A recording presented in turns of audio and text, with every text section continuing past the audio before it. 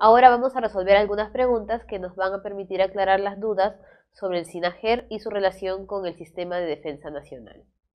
1. Establezca la relación correcta de los componentes del Sistema Nacional de Gestión de Riesgos de Desastres con las acciones que realiza. Tenemos tres gestiones, prospectiva, correctiva y reactiva, antes, durante y después.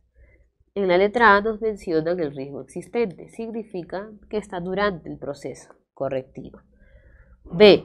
Toma medidas para enfrentar el riesgo no reducido, que viene después obviamente de la existencia de este, reactiva. Y realiza estudios técnicos para prevenir un riesgo que todavía no existe. En este caso sería prospectiva. 1C, 2A y 3B. Nos quedamos con la letra 2. Observa la siguiente imagen sobre las heladas y luego identifique la alternativa que contenga las medidas o actividades que se deben realizar o que deben realizar los pobladores de diferentes comunidades para mitigar sus efectos. Este es un tema que ya hemos visto en geografía y lo estamos refrescando. Las heladas se hacen presentes en la sierra más que en la selva, porque en la selva se desarrollan los friajes, porque la helada era la relación entre la altitud y la baja temperatura. Se da entre los meses de abril y agosto. Baja la temperatura bajo cero, que era una diferencia con el friaje que disminuía pero no bajaba de cero. Y la mayoría se relaciona con nevada y granizada, lo que da a luz a las heladas blancas, a diferencia de las negras. ¿Qué debería hacer la población? A. Impulsar la práctica de la ganadería extensiva, es decir, sin tecnología, incorporando diversas técnicas ancestrales, esto no nos va a ayudar en nada frente a una helada, al contrario, van a tener todavía más problemas. Recubrir sus viviendas con plásticos y lonas podría ser adecuado, pero dice el ingreso de aguas pluviales y las lluvias no son constantes durante las heladas. Colaborar con el gobierno en la distribución de los kits de abrigos, así puede ayudar, y vacunarse contra enfermedades, esto sí es correcto. Construir muros y diques de contención para eliminar por completo sus efectos. Los muros de construcción y los diques casi siempre son para el tema de los huaicos. Evitar el contacto con el medio ambiente y no salir de sus viviendas.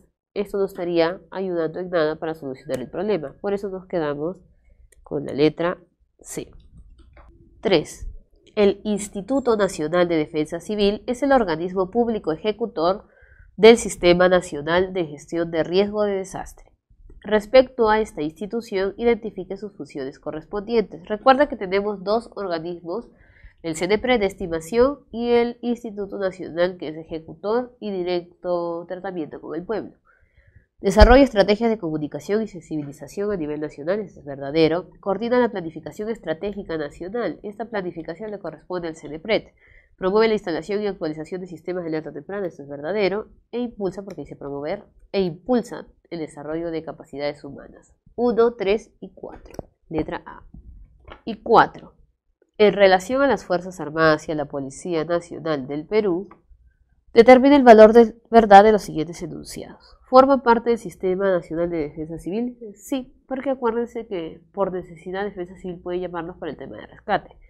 Tiene por finalidad mantener el orden externo e interno respectivamente, eso es verdadero. Son autónomas en la toma de decisiones, no porque dependen del presidente de la República. Participan en el desarrollo económico y social del país, y eso también es verdadero.